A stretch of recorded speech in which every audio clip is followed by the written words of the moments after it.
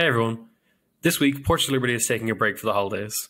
So I decided an episode of another libertarianism.org show called Free Thoughts would be a perfect replacement for the week off. In this episode, I chat with Aaron Ross Powell and Trevor Burrus about why I decided to start the Portraits of Liberty podcast and some of my own views on liberalism and history. I hope you enjoy it. And Portraits will be back in the new year. For now, enjoy Free Thoughts.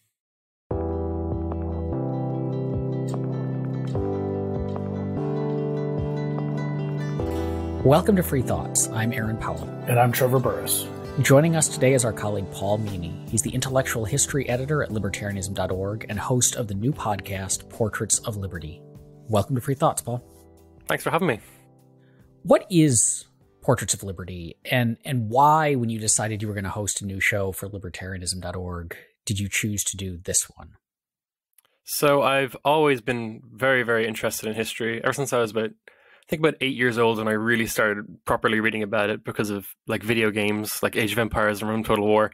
I got really into ancient history and medieval stuff, and it was brilliant. And I read so much about history, and it was always just these big battles and great leaders and kings and generals. And I decided that that would be what I want to study for the rest of my life or whatever. I would be a historian. I decided then and there, and actually got to be one, so that's pretty great. But the thing I realized as I got older was that it's kind of weird. Like we just learn about all these generals and kings and battles, and you you don't really learn too much about you know the normal people in history too much, or even like a lot about the ideas. So when I got into college, I started reading much more about intellectual history, how people thought about things, why they changed their mind on so much. Because when you look back into the past, there are some truly, truly bizarre beliefs that modern minds you really can't understand them whatsoever and so I tried to figure out why they believe these things, but also how it came to change in the first place and how we we have such a free world now. Well, in comparison, how did this change? How did this ever happen? We went from being serfs who believed in divine monarchy to believing in you know elected representatives and democracy and whatnot. So I just thought that was the most interesting thing. So I decided that when I was going to host a podcast, it would be about people who pushed a vision of a freer world. And originally, this would just be cataloging all the important libertarian thinkers, or the most important ones. But I started to realize that that misses out on a lot of the other traditions. So you could talk about people like uh, John Locke or John Stuart Mill, but not that they've been done to death or anything. But there's just so many other thinkers out there that come to similar conclusions, but in so many different and unique ways. And I started to realize that there's so many different ways to come to conclusion, like uh, conclusions of a freer world there's not just one set way. You don't have to just go through it through property rights or just through it through natural rights. There's so many different methods. And that's kind of what Portraits of Liberty is about. It's about exploring all those different ways people came to these conclusions that are now a lot of people aren't libertarians per se. They don't believe in limited government always. Some of the people I cover are, you know, medieval people. They believe in divine monarchy and whatnot, but they come to different kinds of conclusions that can lend themselves to a freer world in the end. And so a lot of it was about talking about these underrated people who really went against the grain of their time and argued for really radical ideas, but today they wouldn't be so radical. Because what, what's radical, it constantly changes. 100 years ago, the ideas that were radical then are pretty normal and commonplace these days. And so I kind of wanted to celebrate those people who really pushed for a, a freer world, even though they probably got a lot of ridicule a lot of the time. A lot of time they had to educate themselves. They weren't even allowed to be educated, some people, especially women. And so it's just about that. It's about celebrating a broader kind of libertarianism, a broader kind of historical libertarianism.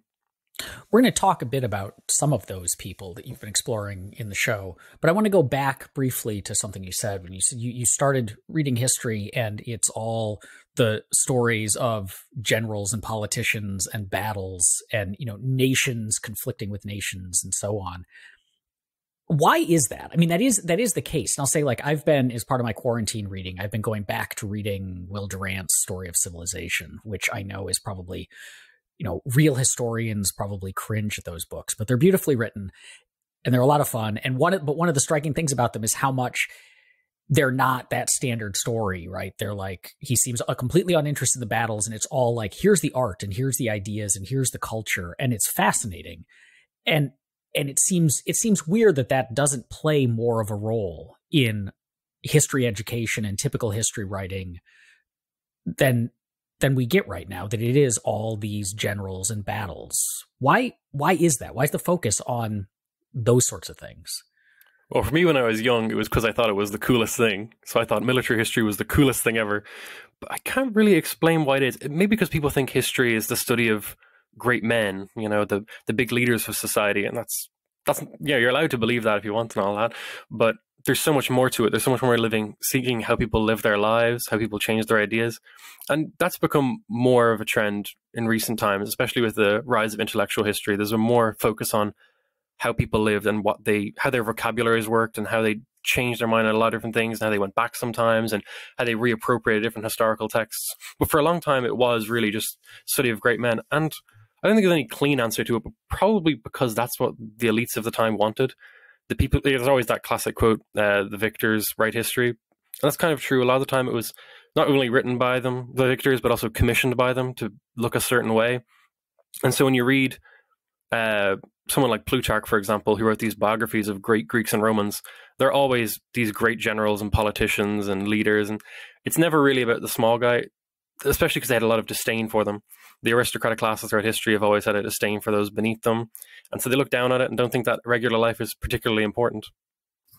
When we're talking about some of these uh, political philosophers, although it's it's kind of interesting to say political, it's such a different world in some of these places where you have uh, 13th century or 12th century that even the state is different. So, so is is it fair to sort of transplant some of these thinkers to modern times with sort of post Westphalian or Enlightenment states, given that they lived in worlds that are hard to even comprehend the way that they viewed the power structures?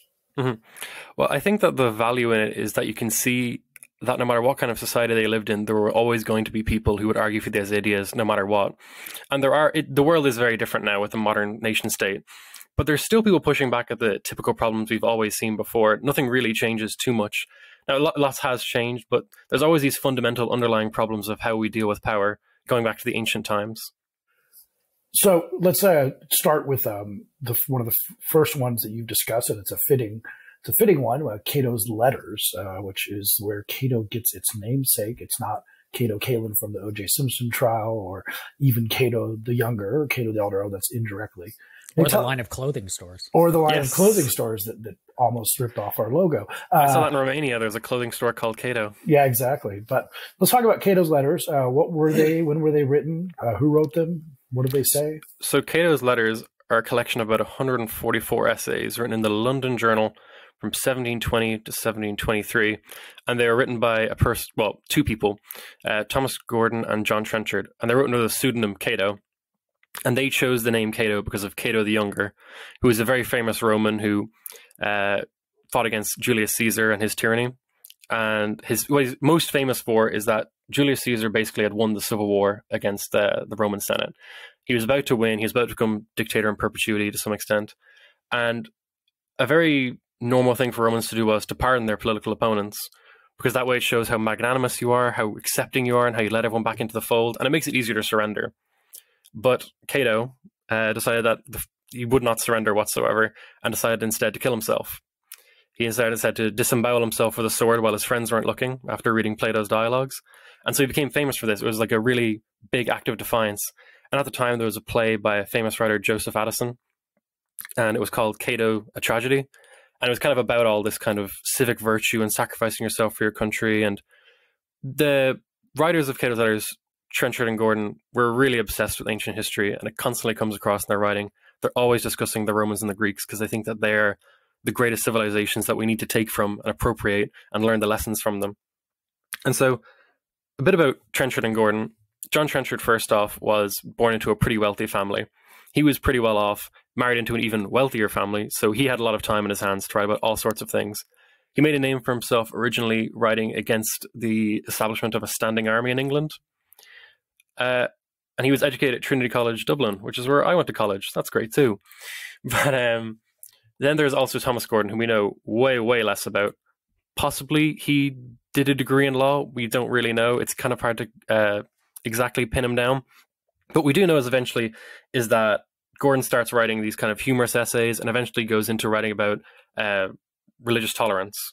And he catches the eye of Trenchard. And Trenchard and him, they meet in a coffee house and they decide to write these letters together. Originally, they decide to write something called the Independent Spec- for the Independent Spectator about religious freedom.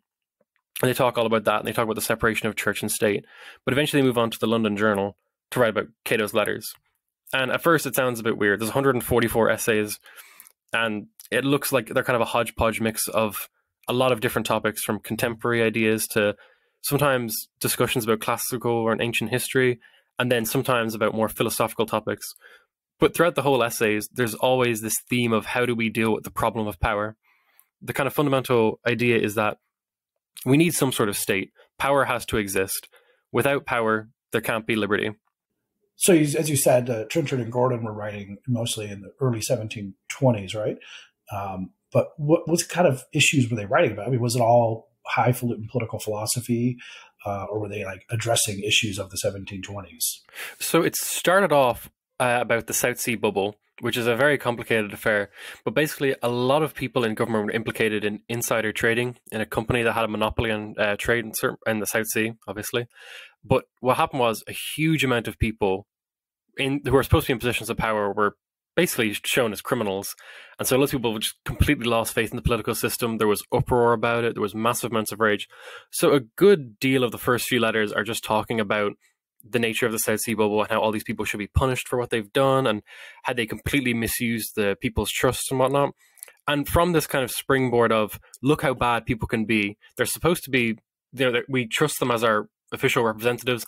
They put on a smiley face and they look like they care about us, but in reality, all of that goes out the window once you realize how selfish people are. And this is kind of the beginning of it. And that's where they kind of have their springboard.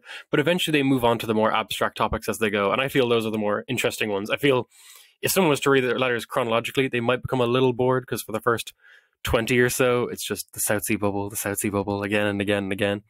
What about the play? I mean, I know it's not exactly, but the, the play is related, as you said. The play is a little bit later, but but he did he titled Addison title the play after the letters?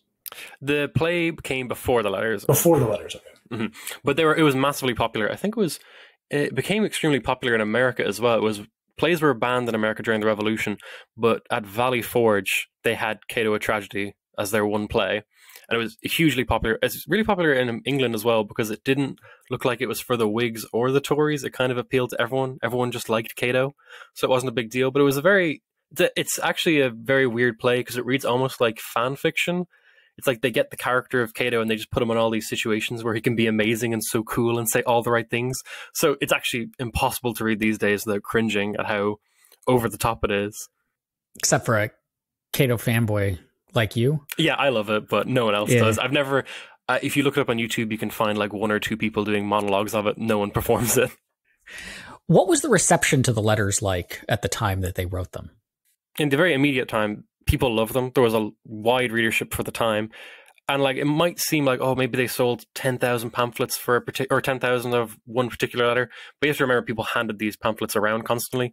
Some people estimate that every pamphlet was handed around to ten different people, so there actually was quite a wide readership of people that could read, and that was increasing as we went on. Um, but the most important kind of part of their reception is how they went over to America and how they became extremely popular in America and became really commonplace reading especially during the revolution. And people like Benjamin Franklin quote them. Uh, John Adams talks about them for a little while. Everyone kind of really gets into them. And their main idea is especially about resisting tyranny, which is a big part of what their letters became to be about. They're constantly quoted. And some people have even argued, like Bernard Bailyn, that they're almost on a par with John Locke's influence, who is colossal. So they're kind of forgotten about, but there's a lot there's a lot there to see in their reception. Do you have any particular favorites among the Cato letters? My favorite, um, a lot of the ones about human nature I always love. I can't give you particular numbers, but anyone that has the phrase "human nature" in the title is always going to be pretty interesting and good. Um, actually, less I, about the South Sea bubble than it is about the uh, abstract political philosophy, I guess. Mm, when they get to their more abstract political philosophy, it's much more interesting in my eyes. But there is a good five in a row that are about human nature that I really, really enjoyed. And they, that's probably my favorite part. They also talk a lot about standing armies, resisting tyranny, uh, constitutional limits on power, the importance of separations on power, uh, the importance of free speech. They really cover a massive amount of topics. It's pretty impressive, so actually. Oh, yeah, absolutely. Uh, let's, let's go back. Uh, we, we started with Cato's letters because, uh, fittingly, uh, for the Cato Institute. But that's in a kind of Enlightenment era uh, artifact and, and, th- and thought. But we have go back to medieval, and so you have one medieval feminist. You just have Christine de Pizan. Is that how you say it? Christine de Pizan, yes. Uh, what what who was she, and uh, what did she do? So when I told people that I was going to do the first episode about Christine de Pizan, the first question was, who is Christine de Pizan? And I tried to explain to people that she's a medieval feminist. And everyone thought I was crazy. But I got the idea because I was reading all these different kinds of books about like, the history of liberty or whatnot. And they normally don't really mention women. Women are kind of this almost this afterthought. A lot of people don't really discuss, you know, classical liberalism and feminism too much until John Stuart Mill and Mary Wollstonecraft in the 17 and 1800s. And so I thought that it's kind of it's weird that we talk so much about feminism these days, but we never talk about how far it goes back. A lot of people think it starts with people like Mary Wollstonecraft or the Seneca Falls Convention for Women's Rights. But I think that there's a, an argument that there's a much longer tradition than we normally think. And I think it starts off with Christine de Pizan. And so she was born in uh, 1364. And she's born into a pretty wealthy family. Her dad goes off to work for the French king in his court and she has access to this massive library and she learned her father was very interested in teaching uh, her the exact same way she taught his son and so she learned basically the same things that men would learn at the time but in private she doesn't really write too much she gets married to a man called etienne who she thinks she thinks is the greatest husband ever but eventually, a lot of things go bad for Christine. Her father dies and her husband dies, and she has no real access to their inheritance. Lawyers kind of trick her out of her inheritance somehow. She doesn't really have that many legal rights as a woman, so she turns to writing to try and support herself.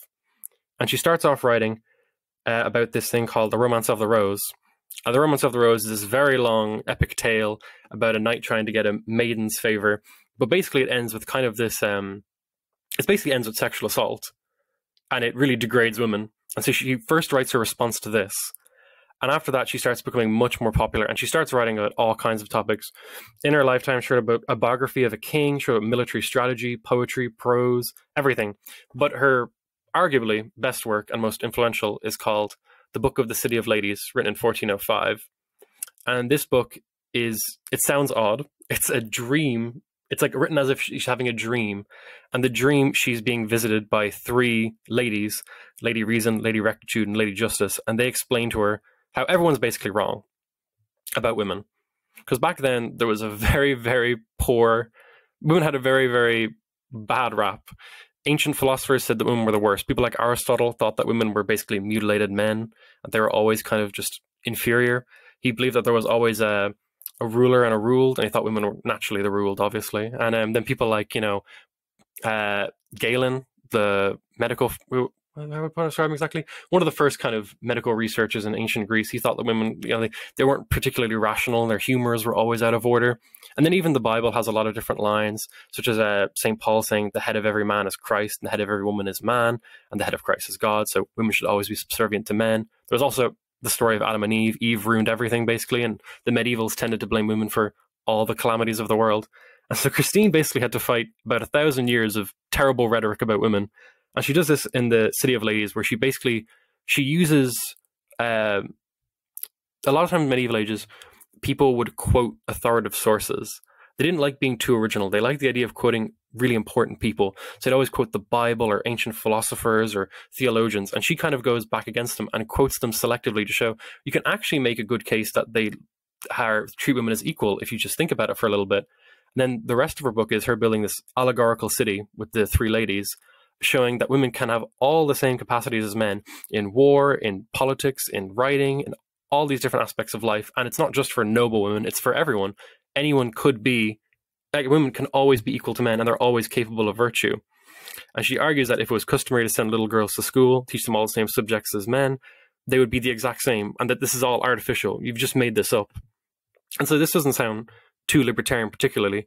But I think what's radical always changes. And if you look back, Christine de Pizan was probably one of the most radical people at the time, arguing that women should be like educated similarly to men and they should have a lot of the same rights. And she represented. Now, of course, there's problems. She doesn't you know, she's not too big on the whole sexual liberation thing or anything. She still believes women should first and foremost be wives. But she's starting to break out of that mold. And a lot of writers were inspired, a lot of female writers were inspired by her and decided to take up the pen in defense of their sex as well. And Simone de Beauvoir, the famous French feminist in the 20th century, she would eventually say that Christine de Pizan is the first person to take up her pen in defense of the female sex. Do we have any concept of, of backlash? Uh, I mean, I imagine that, as you said, the intellectual climate was not uh, very good for how it treated women, but like, was there a backlash for what she did? So she has some letters where she discusses ideas with people, but surprisingly, uh, she did very well. She was an amazing writer, and she was actually one of the first female professional writers in the Western world, seemingly. She made a lot of money off her writing, so she was writing commercially, and it did very well. So the backlash isn't that bad, really. There are people who will always say things, but it's not particularly terrible. So she's writing this in the early 1400s, and the status of women remained pretty grim for quite a long time after that. So what what happened to her ideas? If she was so there wasn't much of a backlash, she said, and she was pretty popular. Did she start was there a movement that followed on from her or or did she just disappear into obscurity? There are a lot of there's a tradition of Renaissance women who are educated by their fathers, and a lot of those women took up Christine's kind of challenge and she kept they kept moving it forward. And this kind of goes on all the way to what's called the Querelle des Femmes, what's called basically the woman question. And it turns out this is actually a debate that goes on for hundreds of years, all the way up to the next person I'll cover actually, who is Francois Poulain de la Barre. But basically there was a lot of people who wrote inner tradition in this vein and it was always about are women equal or superior or inferior to men and the superior side was always kind of people only did it as a kind of challenge to their own eloquence. They'd only write this to make the argument for fun. The inferior people genuinely believed it and were terrible. And then the, the people who argued for equality were the exceptions. But yes, she actually did influence a wide variety of different thinkers, especially in Italy, and they went on to argue this. You mentioned the next one that I was going to ask about. So uh, Francois Poulain de la Barre uh, is one of these egalitarians. Mm-hmm. So he is, I find his story tragic personally. It's so sad. There's a story of this psychologist called Henri Piéron, and he's in this massive library in Paris and he's walking around and he finds one of Poulain's books. He takes it, he looks at it, and he realizes the pages aren't cut because no one ever actually read the book. No one ever cut open the pages. But it turns out he's a genius. So he's a man who's born in the 17th century France. He's born into a wealthy enough family, goes off to school, goes to college, doesn't like it at all he thinks that college really just prepared him to talk about things in Latin they didn't really understand whatsoever. And so he's not too interested. But then he goes off and he goes to a conference on Descartes, the famous French philosopher. And he starts to realize that, oh, Cartesianism is a really great idea. And what he takes from that is the idea of getting rid of all your preconceived notions and getting rid of all this idea of authority. He starts to question, again, even in the 1600s, people were really, really relying on authorities. A lot of arguments relied around quoting selectively important thinkers to support your case. But Poulain's like, this is ridiculous. We need to stop relying on authority and start relying on reason and reason alone. So he decides to write from 1673 to 1675 these three different works on the equality of the two sexes, on the education of ladies, and then this one called The Excellence of Men, which is a satirical uh, destruction of his like it's he's talking from the other point of view. And the reason he wrote that was because no one was replying to him because everyone thought his arguments were so outlandishly ridiculous because he was arguing for the equality of all people basically. And no one really took him seriously. But he basically has the idea that you know basically all of all of us really have enough reason to seek the truth. We don't really need all this authority. And he kind of goes back and wonders like well why do why have women been so oppressed? And he basically comes to the conclusion that men and women's minds are basically the same. The mind has no sex is his most radical conclusion. And he kind of goes back and tries to do some anthropology on why are women so oppressed in society and why do we have these opinions? And so first off, he makes the historical case. He's like, okay, well, this is all because of chance, violence, and custom. You know, primitive mankind, you know, it was all about physical strength, and women were weaker and had to bear children, so they were kind of left out of hunting parties and whatnot. But then this was kept on, and as civilization developed with all these different writing and strategy and important, like all these different high intellectual topics, women were just kept left out of it, even though they could easily take part in it. But he thought it was just kind of this hangover from an earlier age that we have to get rid of. But then he said that the real reason that this keeps going is because of prejudice. And prejudice he calls the greatest enemy of truth. And he starts to say that the real problem isn't just that, you know, people are bad and people are going to oppress other people. It's that we make up our mind without really thinking about it too much. He calls uh he says like our problem is imagination. We can't imagine the world a different way. If something is well established, then we think it has to be the only way we can do things. We find it really difficult to ever change our mind about these things. And he keeps saying, like, no, follow the method of Descartes. Take away all your preconceived notions, take away all these ideas you've been given beforehand, and approach things with a blank slate. And he says, and you'll realize the way the world is. And the reason he chose to discuss the topic of women was because he thought that it was the most ingrained and worst prejudice that we all had, or what we all had, they all had at the time. And so he thinks that if he can unlock this one big prejudice, the human mind can be open to all different kinds of ideas we can really change the world. Because he goes on to talk about, well, why are these, why do we have all these nobles who uh, get to do everything they want all day and have loads of money, but then the real wealth of the world is made by the peasants who farm in the fields? Why is that the case? So maybe he could have had a more radical bent and he could have kept going, but seemingly his his uh, writings didn't really get much attention. They kind of fizzled out, and then he moved on to other things, and he never really visited it too much again. So I think it's tragic that such a such a genius person who was such an egalitarian and so forward thinking. Possibly, there's an argument that Poulain was the most radical person on the planet at the time, from what I know. It seems like no one else goes as far as he does. He doesn't just say, you know, women should be allowed to do these jobs. He should, says they should be allowed to lead armies. They should be allowed to be in government. They should be allowed to do everything. There shouldn't be any real distinction. It shouldn't really matter whatsoever. So I think he's amazing for that, that he went against the grain of his time completely. Was that you're saying you're talking about the discovery of his book? I mean, was he forgotten in the sense, or you're just saying that like it was it, you had books that weren't even the pages weren't even cut, um, or was there like a later rediscovery of him? Uh, there has been a massive. There's been a few books written about him recently. There was a few authors in England who started to quote him, and you can kind of see him every now and again popping up. But he's really, really obscure. But um, Simone de Beauvoir actually quotes him as well. Another Simone de Beauvoir reference is she says that he says that we shouldn't trust things men say about women because they're both judges and litigants at the same time. Because what they say, you know, it, he thought that was in their own self interest. He thought, you know, if someone says women shouldn't be lawyers, it's because they're lawyers and they want to cut off the competition. They're always talking in their own self interest. They're just trying to keep people out of it. But yeah, he's not particularly famous at all. If you look him up, you're not going to see too much. There's only a few books about him. So I thought it's just a real tragedy that someone like him doesn't get much more credit in history when we have so many philosophers who have terrible opinions of women and terrible opinions on lots of different things. Why is this guy the one who gets sidelined?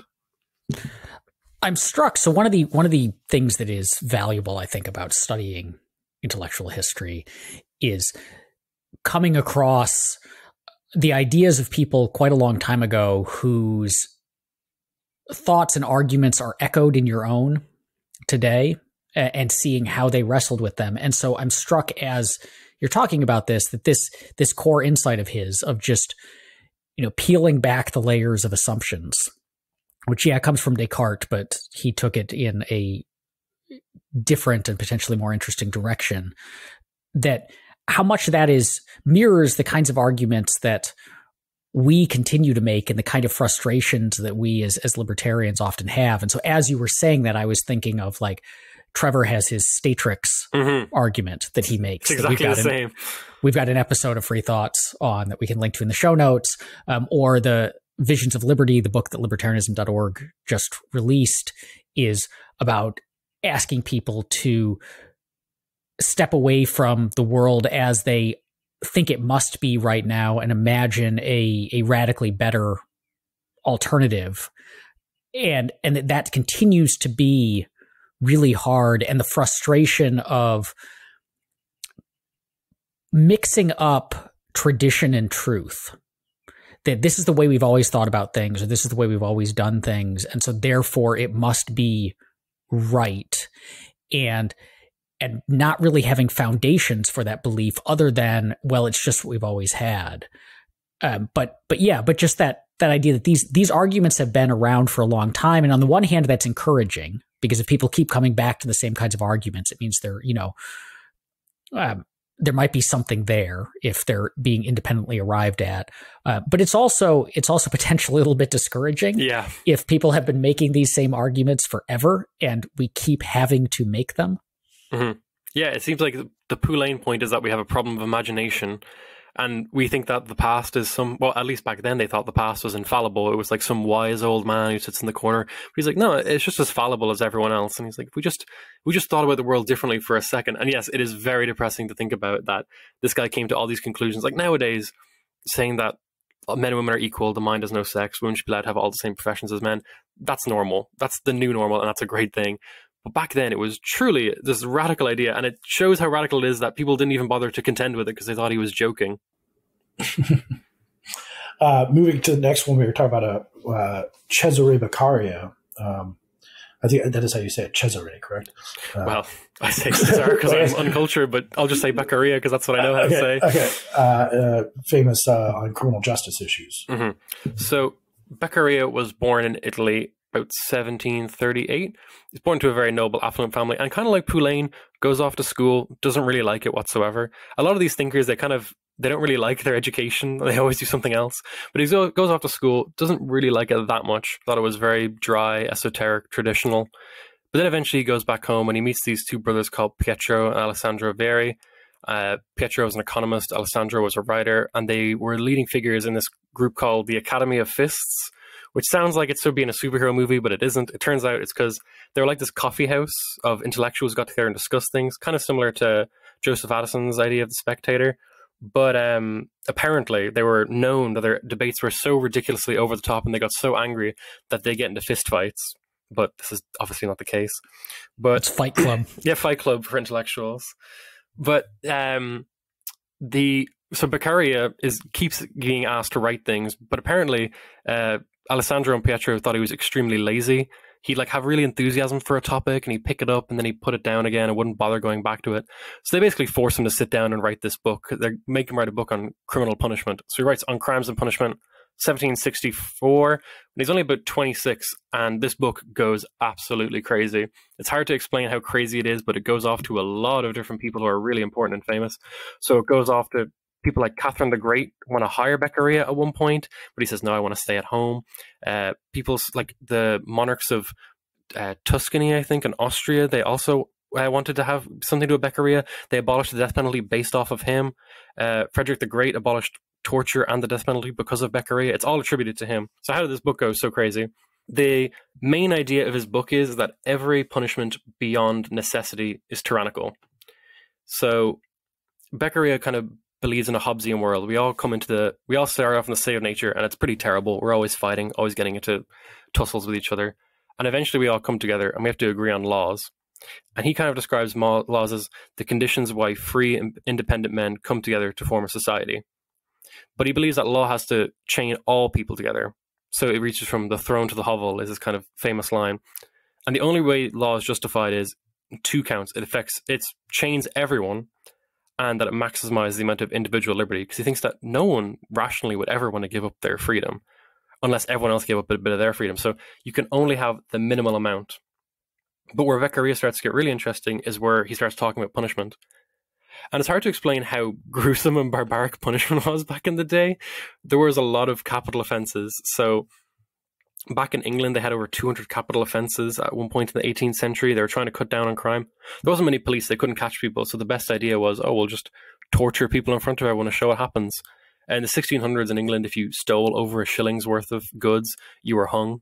So it was ridiculous. And there was huge amounts of torture as well in the mainland Europe. Torture was a perfectly legitimate and valid way to get confessions. It doesn't seem particularly fair, but during the Inquisition, it was perfected as a practice. So the justice system was pretty arbitrary really cruel, and above all, it was very. It wasn't particularly impartial. There was a lot of favors for different people. Elites could get away with certain things. They didn't really have to respond to laws in the same way. If a rich man stole a shilling, it wouldn't matter. But if a poor man did, he would be hung. So Beccaria's idea is to rationalize the justice system and to make it equal for everyone. But what he's most famous for is being one of the first people to argue extensively against the death penalty. And his idea is he kind of goes back to John Locke, and he has this idea that the human mind is like a blank slate, and the trick is we have to build these impressions on our mind. And so you might think, okay, if we have to build up these impressions of habits of how things are, if we if we hang someone in front of everyone, that way they'll completely, you know, they'll never do a crime because they've seen what happens. They'll make the connection. But he's like, that really doesn't work because most people don't really treat these executions as if they're you know, uh, educative things. They're more like spectacles. People went for fun and they cheer and love when they get beheaded and hold up the head in front of the crowd. It was more like a spectacle. It didn't really teach people the wrongness of crime. It's like, it's actually much scarier to go to prison for the rest of your life and do hard labor. So he starts to explain this is a much better way of deterring people. Crime is like, he asks, like, why should we bother torturing people? He says, like, can the wailings of a wretch turn back the clock? No, it's not about punitive punishment. It's not about torturing people in prison. It's about stopping current criminals and deterring future criminals from doing it again. But then he starts talking about like, you know, you have to look back at history. In history, the societies that have killed people for the smallest of crimes tend to have the most crimes and are the most barbaric, actually. He was saying that this is like a hangover. We're the enlightened people now. We need to make a much more humane and fair justice system. And so in that way, he's he's very, very forward thinking. And his forward thinking was taken up by a lot of people. As I said before, people like Catherine the Great in Russia referenced him when they abolished the death penalty and torture. Same with Frederick the Great. But in America, he was actually extremely popular. And one of the reasons he's extremely popular in America as well is because not only because of his stuff on um, the death penalty, but also his stuff on gun ownership, where he talks about, you know, you're not really going to stop people from getting guns if you ban them. You're just going to make it harder for people who really want to have a gun to defend themselves to have them. He's like, you're, you're disadvantaging the person who's going to be attacked, the victim. So he sounds pretty modern in a lot of ways. Is that like a? Does he have a whole essay on it's a, ownership? It's or a, chap- whole- it's a chapter in the book. He has like all these little headings, and there's uh, about two, three pages, but it was quoted quite often. Thomas Jefferson quoted it a few times in his commonplace book, and I think he mentions it in one of his documents to Virginia's, yeah, Virginia's penal laws and one of the draft legislation. He talks about it. Do we know much more about like so he, criminal justice? Did he do broader political philosophy or, or any other kind of thought? So he becomes really, really popular, and people around the world are asking for him. People are asking to employ him to reform systems. He's asked to go Paris. He goes off to Paris to these intellectual salons to make a name for himself, but he's extremely introverted and he was very, very dedicated to his wife and he loved his home. So he kind of goes back home, kind of he kind of slinks back in. He doesn't really go out to the broader world. He wrote about economics as well, but he never really wrote that much else after. But he didn't stop doing important things. He taught uh, law and economics in college. Then he's put in the Supreme Economic Council, put in a board, uh, a board to reform the Judicial Code of Milan. So he did a lot of work on the ground, but this one essay was massive, but he kind of never really followed it up with much else. For our last person, we'll turn to someone you're going to be talking about in an upcoming episode of Portraits of Liberty, John Cook. So John Cook is another person who is so sadly obscure. It is so unfair that he is, but he is the first person to head the prosecution of a head of state, which all libertarians should love. He was um, he's an amazing person, but there's so many great stories about him. But to start off, he's just a he's born into the 1600s, 1608, in a ridiculously poor family in a place called Burbage, really small village in England. And at the time, divinely ordained monarchy was all the rage. Everyone thought that that was the way things were. There were always monarchs. They were appointed by God. You have to obey what they do. Uh, King James, who was the king for the first half or so of his life, he wrote a book which was kind of like this advice to his child. And he talks all about how uh, the king is the absolute master of the lives and possessions of his subject. His acts are not open to inquiry or dispute, and no misdeeds can ever justify resistance. In other words, what the monarch says goes. His word is law. And so John Cook is born into this world. And eventually, what happens is in the 1640s, in, in England, there was the agreement of Magna Carta, which was that Parliament and the king would share power. Uh, king Charles I decided that wasn't really in his wheelhouse, not really a big fan of that. So he disbands Parliament for 11 years and rules on his own, basically. Then he, Parliament gets sick of this. They put out something forward called the Grand Remonstrance, which was all of their, their grievances and their plan for reform. He kind of scoffs at this, and eventually, civil war breaks out. There was a terrible civil war. Uh, some people estimate one in ten Englishmen died in it, a similar proportion to World War One. So really, really devastating. So this war happens for four years under the leadership of Oliver Cromwell, and with the reformed New Model Army. Eventually, the parliamentarians win, and they imprison Charles. And they can't really imagine a world without a monarch either. So they're kind of like, okay, we'll put him back as head of the state, but we'll have some limitations on power. While he's imprisoned, Charles is a devious man. He goes off and plans another civil war, paying the Scottish to invade England and getting royalists to start riots around the country. This is put down, and eventually they're like, okay, what are we going to do? And so they decide that the whole reason they started this civil war was over Magna Carta and respecting it and respecting the rule of law. And so they decide they're going to put um, Charles I on trial. This has never been done before. No one has ever done anything like this. And so when this is said, uh, every single lawyer leaves London and is not bothered to even think about touching the case of the barge pole. Cook's originally only going to be a person who's collecting evidence and making legal arguments because he was a real radical person at the time. He argued in favor of like kind of softening on the death penalty. He argued poor people should be treated with more leniency. He even defended a, a doctor who he, he defended a doctor who didn't have a license to practice medicine. He even said maybe we should get rid of the licenses so we can have more doctors to begin with. He had all these great cases. Even established um, the right to silence when he was defending the leveler John Lilburne. He was a really progressive, forward-thinking lawyer for his time, and he wrote a decent few pamphlets about how he thinks the law ought to be. He even he hated the idea of particularity, at the time there was a lot of benefits for people who were higher up in society. So, for example, there was something called the benefit of the clergy. And it was like, if you're educated and this is your first time committing a crime, we'll just waive it. It's fine. Don't worry, you're educated. And he thought this was the biggest affront to reason and justice possible. So basically, he was a very radical person, really smart legal mind, but maybe couldn't be trusted because he was too radical. And so they kind of put him at a they put him at a, a not front facing part of the trial. But then the person who was going to head the prosecution, Matthew Steele, uh, he decides that he's going to back out. He says he's ill and refuses to leave bed. So John Cook is kind of pushed to the forefront.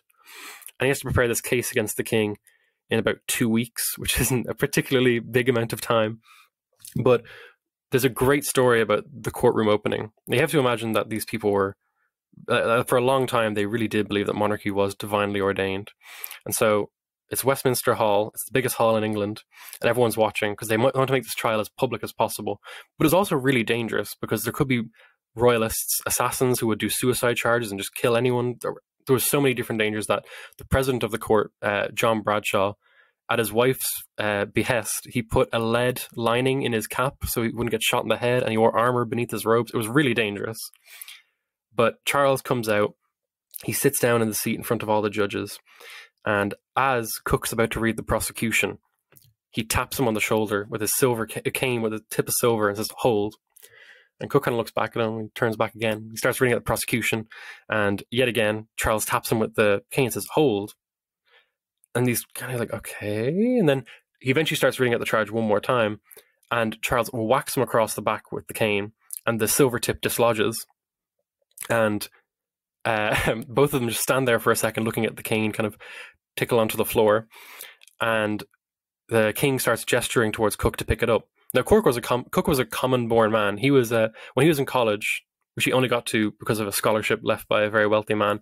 He was literally described as a plebeian. This man is a, a common-born. You know, his dad was a farmer, his granddad was a farmer, and if he didn't get to go to college, he probably would have been a farmer as well. But they both look at the silver tip, and Charles makes this kind of gesture, like "Pick it up, pick it up." And Cook just doesn't even look at him, and he starts reading out the prosecution anyway. But then he turns to him and looks him directly in the eye and says that he is a tyrant, traitor, murderer, and a public and implacable enemy to the Commonwealth of England. And as he says this, Charles kind of stoops to the floor and picks up his silver cane himself. And so the acoustics in Westminster were terrible, so people couldn't really hear. But there was these, uh, there was like a kind of a, a journalist gallery where some of the newspapers could write, and no one, the symbolism wasn't lost on anyone. Everyone was like, "Oh my god, divine law has bowed to the laws of men." And this is what Cook is famous for. And so the trial goes ahead. Charles refuses to even acknowledge the legitimacy of the courts, which actually turns out to be a very common strategy of leaders on trial because it's the same thing that Saddam Hussein and Slobodan Milosevic would do later on. Uh, he just says the legitimacy of the court doesn't matter, da da da. Uh, this goes on for a few days. Eventually, they're like, well, Cook makes the argument this is what's called a pro confesso. You you haven't pleaded to the court, so we're going to have to go ahead anyway without this. You can't just sit there and not say anything. And so uh, eventually, people aren't really happy with this. We have these evidentiary sessions to show that he had what they call command responsibility. He was in charge of the army. He was directly there for a lot of the battles. He didn't have to do all the war crimes that he did, including pillaging innocent people, uh, killing prisoners of war, torturing people. And so Cook makes this kind of almost modern sounding war war crime argument.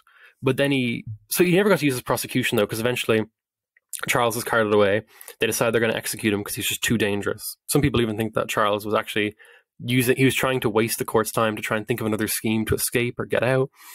But eventually he's executed, and Cook releases his, what would have been his speeches.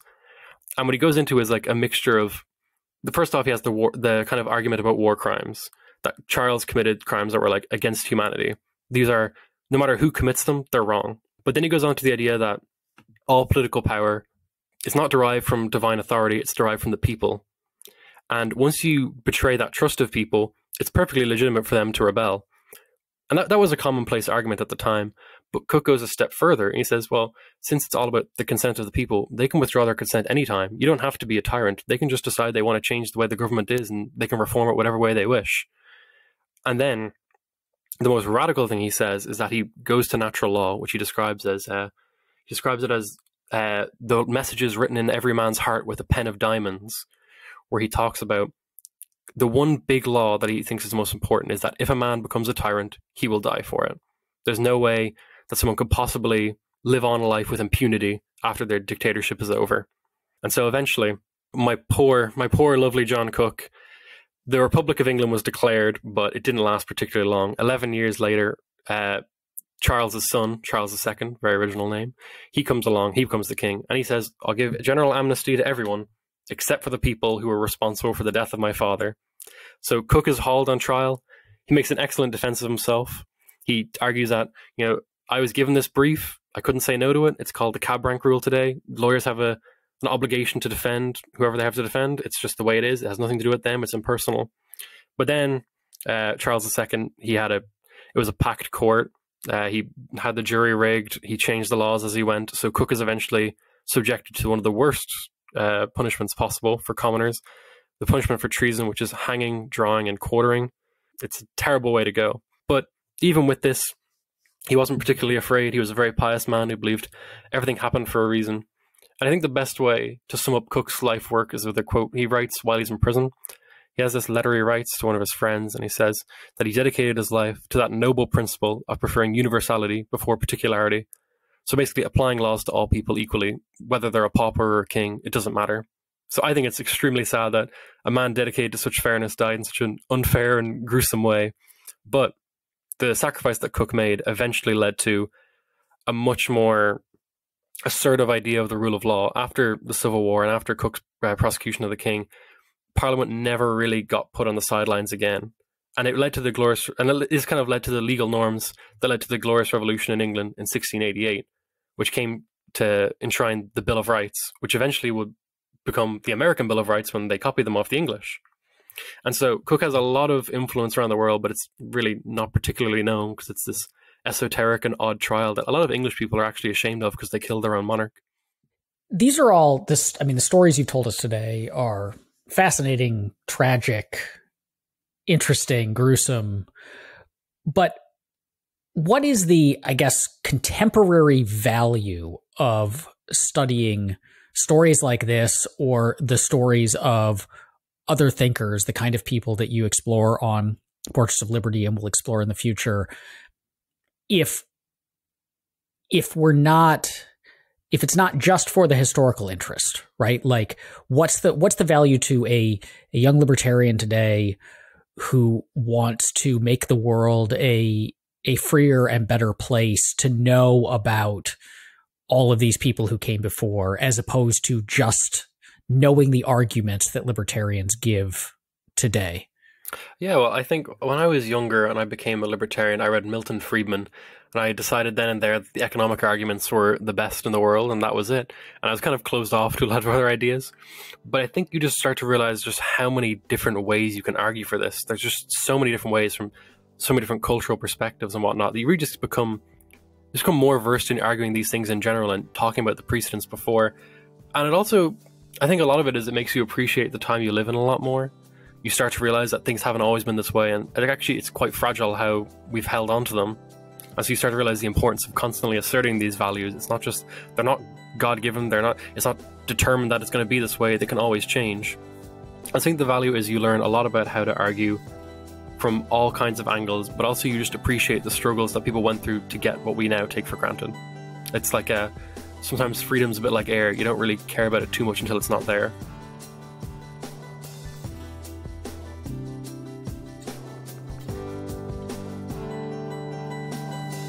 Thank you for listening. If you enjoy Free Thoughts, make sure to rate and review us in Apple Podcasts or in your favorite podcast app. Free Thoughts is produced by Landry Ayres. If you'd like to learn more about libertarianism, visit us on the web at www.libertarianism.org.